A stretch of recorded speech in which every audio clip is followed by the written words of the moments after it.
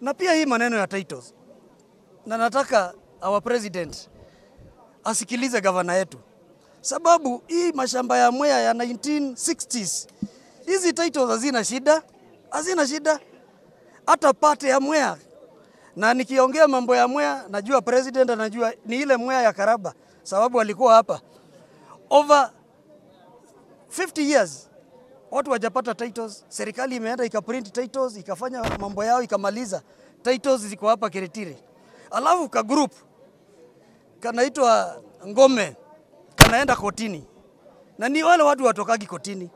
Sasa wameshika economy ya entire Mwea sub county, a whole sub county, because ukikuwa na title hapa, tuko na Tana River, unaweza nunua nduthi, unaweza tengeneza shamba yako ukuze na tuanze bottom up hapo.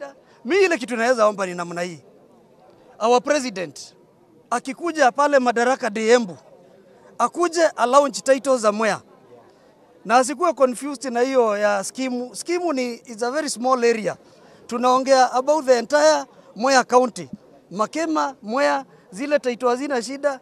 Hiyo settlement scheme is only a 5%. Kuna siasa imeanza ku, ku, kuingia, watu wameanza kuleta siasa ya mashamba.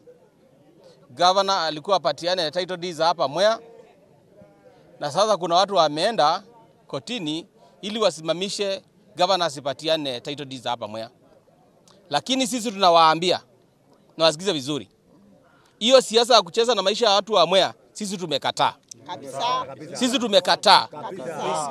Na wapatie governor nafasi atufanyie kazi. Because kupeleka hii kesi ya title deed kotini ni kusema governor atafanya maendeleo Mwea.